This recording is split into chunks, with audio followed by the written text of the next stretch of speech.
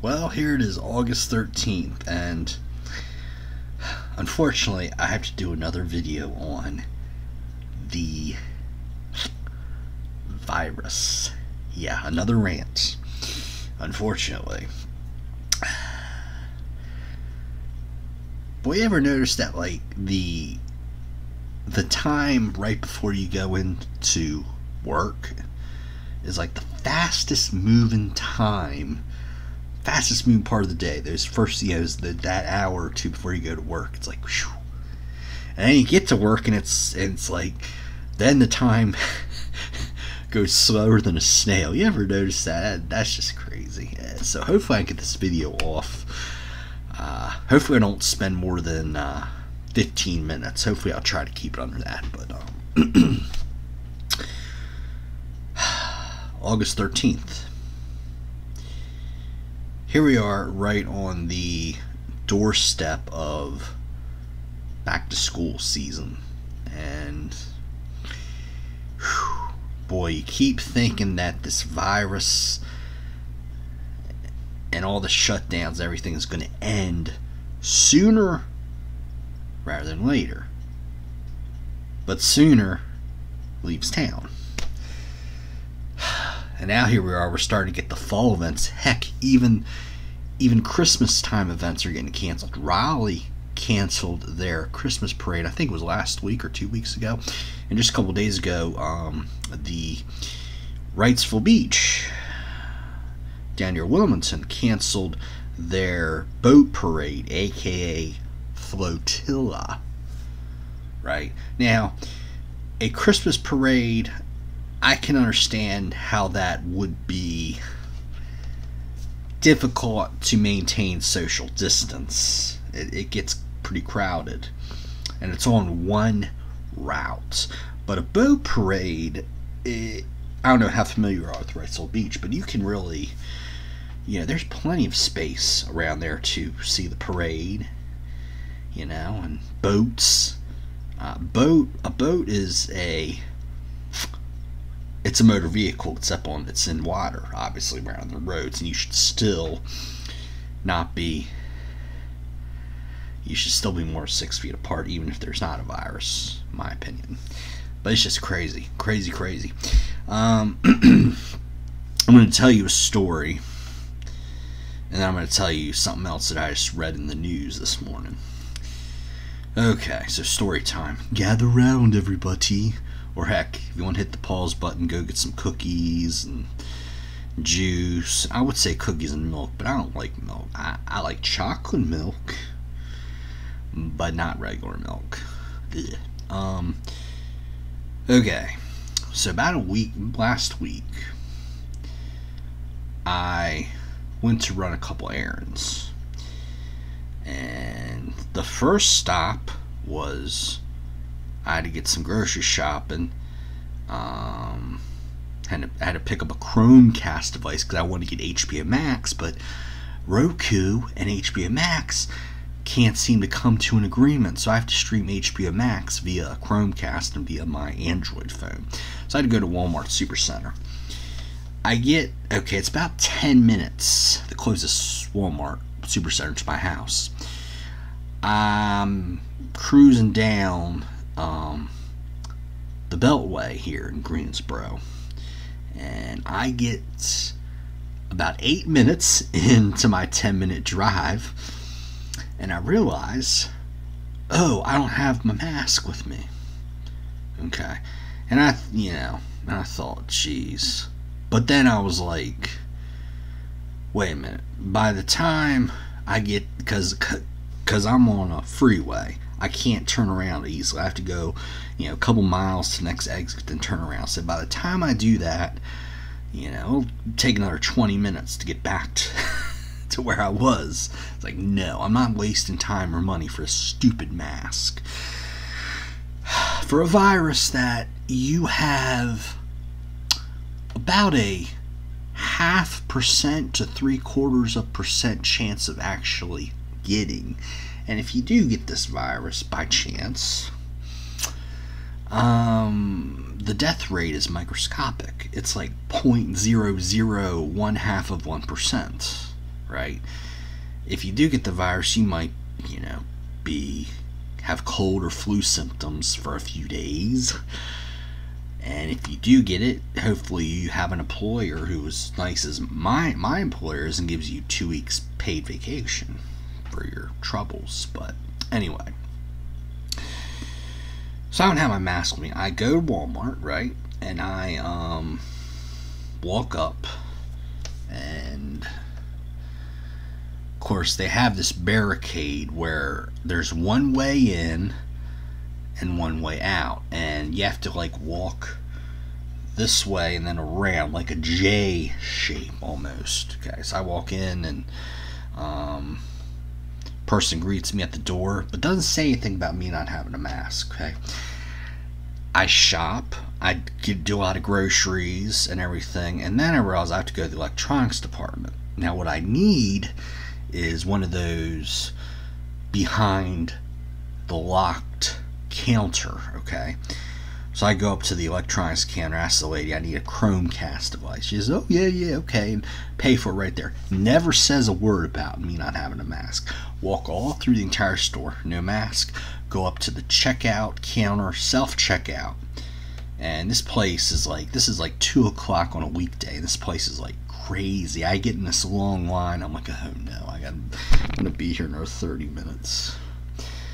And it's crazy because I get in line and I'm and I'm waiting for traffic to go by me and then get in line, but the traffic is actually coming to the end of the line. So I'm like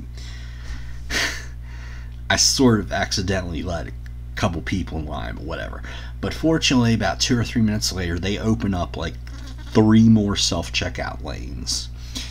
So again, I walk right past the self checkout girl and Nobody says anything about not having a mask, okay? Throughout my entire time inside the Walmart store, nobody never says anything. None of the employees or none of the other customers, you know? And I do my best to stay six feet away from people if I possibly can, too. So, the entire time in that crowded Walmart, nobody says anything about me not having a mask. Okay, so the second and final stop on my uh, mid afternoon journey, I decided to pick up some expensive takeout food from one of my favorite restaurants, at least as far as chain restaurants go the Cheesecake Factory. I'm not a fan of cheesecake, the food, but I like the, you know, the the pasta dishes, the chicken marsala, and the chicken and biscuits is really good.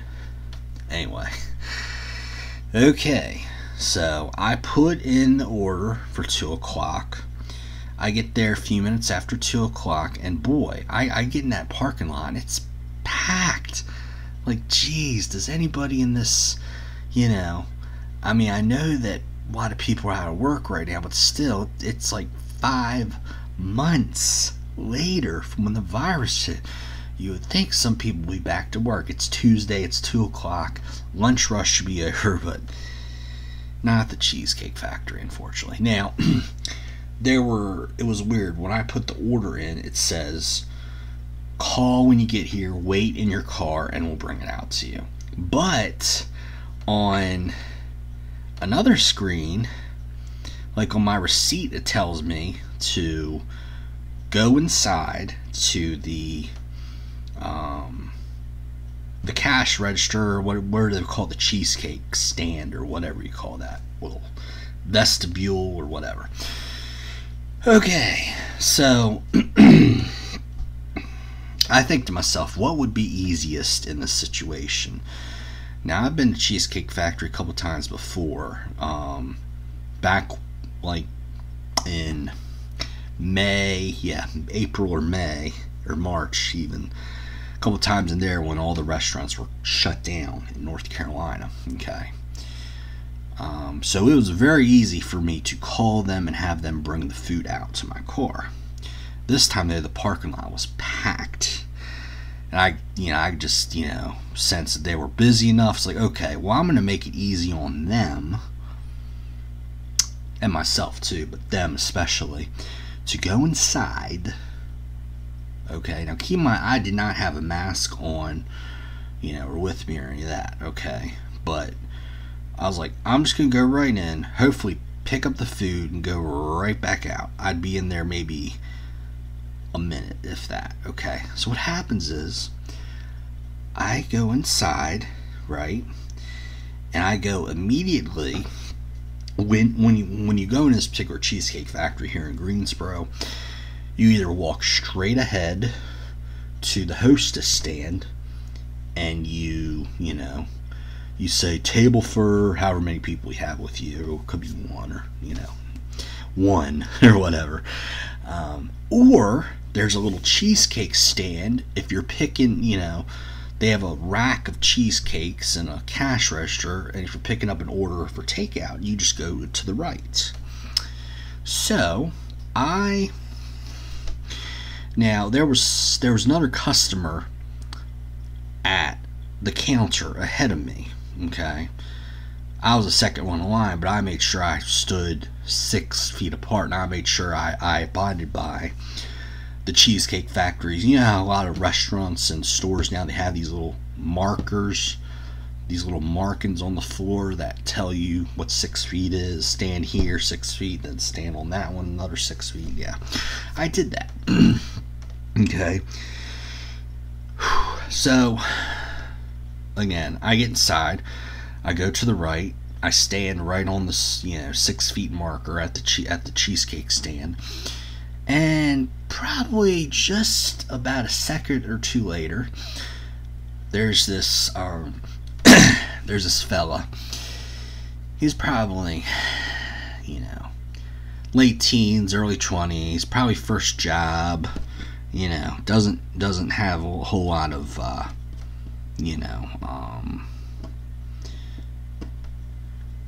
you know, a whole lot of wisdom, I guess you could say. Well, not be smart, but you know, he's one of those people that's pretty, probably pretty liberal, and you know, lets the media influence him or whatever. anyway, um, he says, "Sir, sir, uh, you, would have a mask on." I was like, "I'm, I'm sorry, I, I don't have one." You know and a few seconds go by and, and he says you have to have a mask on to be in here. I'm like i'm like listen man i'm here to just pick up food okay? I'm not here to dine in or do any of that okay? And i tell him i say i forgot my mask which is the truth too okay? I'm not trying to pull one of these you know trying to make a scene or any of that stuff even though i don't believe in the mask mandate but you know um most times if I'm going somewhere into a store, yes, I'll have a mask on just because I don't want to cause a scene.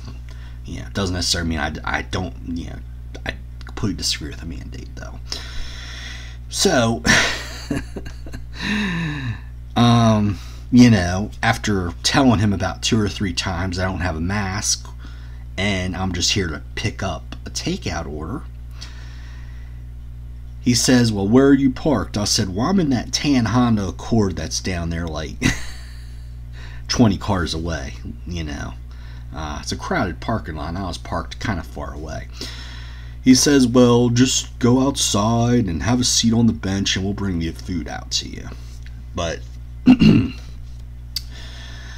So then a few minutes pass. I'm out in this hot, hot sun. It's like, why doesn't the Cheesecake Factory, you know, if you're going to pull this mask BS, you know, try to be more hospitable with the outdoor people. Have some fans or put a little tent with some mist or something or make your lobby a little bit bigger maybe. That would be nice.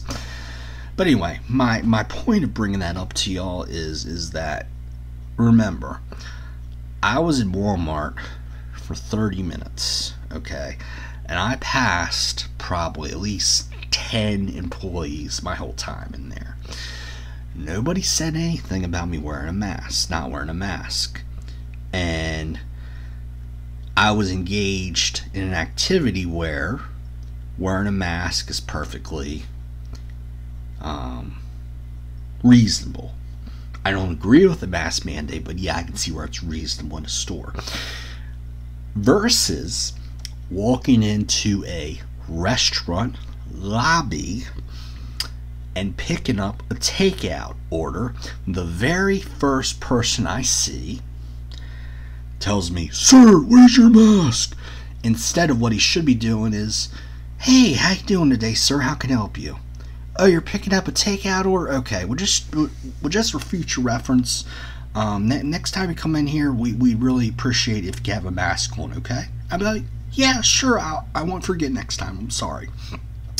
Instead of barking at me, you have to have a mask. You have to have a mask. You're going to hell if you don't wear a mask. Screw you if you don't have a mask. F you. Blah, blah, blah, you know? Point of this is customer service. On, uh, you know, in a restaurant. Come on now. A restaurant where you're going to be eating and drinking.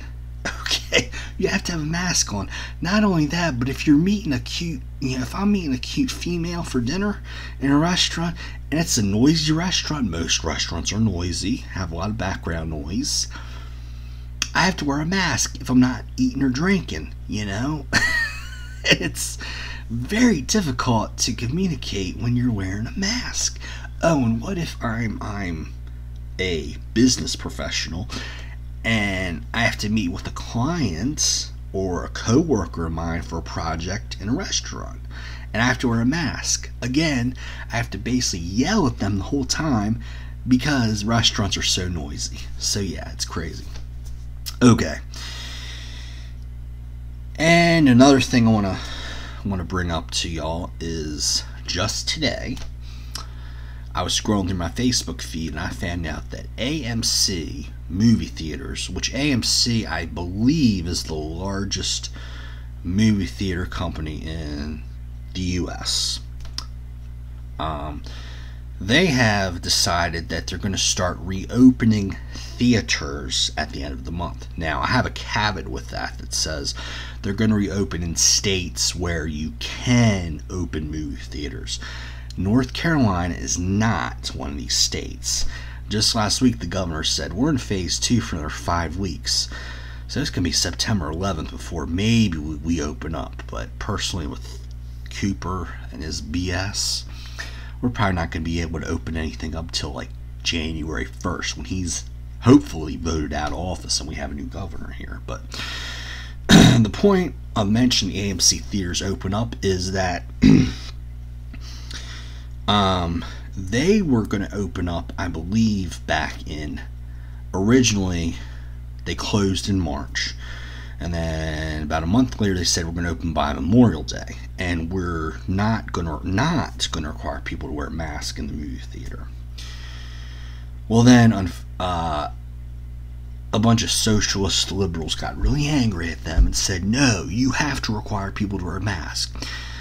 So they changed their mind and but they decided not to reopen at all. And then just today, I read they're going to reopen like 100 theaters by the end of August. Then two thirds of their theaters should be open by the end of September. But but they're going to require people to wear a mask. Now, why is this a wrong decision? Well, movie theaters were already on their last legs even before this COVID mess ever hit the surface. You had you've you know in the last three or three two or three years you've had an explosion of streaming media services where if you want to watch a movie um, you know you can watch it in the comfort of your own home via a smart tv most people have smart tvs nowadays. Or you can do the old fashioned thing from 10 years ago. Believe it or not redbox is still around go to a Redbox kiosk, get a movie. It'll cost you just like a dollar fifty or two dollars, somewhere around there. But so here's my question to you, my audience. What makes more business sense? You're an industry on your last legs.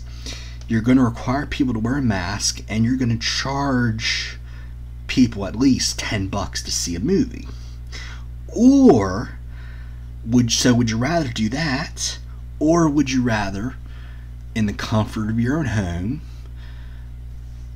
you don't have to wear a mask. You're not required. You can wear whatever you want. Heck, you can be naked if you want to. You could even have sex while you watch a movie with somebody if you want to. Ooh, that's kind of ridiculous. Not not not G-rated. Sorry. You can do whatever you want. Watch a movie. Wear whatever you want, or nothing. Watch a movie in the comfort of your own home for either two dollars with Redbox, or if you have a monthly streaming service, Disney Plus is probably like what ten cents a day or something at the six ninety nine price point, or you know maybe a fifty cents a day with HBO Max, right? But yeah, yeah, you would probably stay at home and do the streaming service, watch a movie in the comfort of your own home, not have to worry about wearing a mask, right?